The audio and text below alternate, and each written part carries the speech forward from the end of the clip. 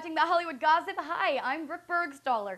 Everyone, feel free to breathe easy again. Wayne Knight is not dead. The actor is very much alive and well, despite an elaborate online death hoax that falsely reported his demise this weekend. Don't you just hate when that happens? The 58 year old actor, best known for his portrayal of Newman on Seinfeld, was the latest victim of bogus internet death reports. And he addressed the issue on Twitter, where he reassured fans Sunday morning.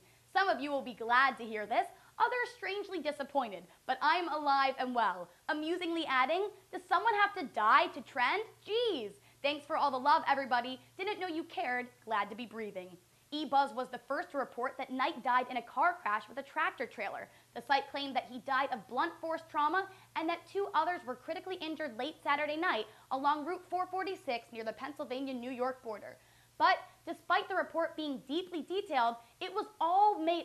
And all we know is that whoever is contriving these stories needs to get a new hobby stat.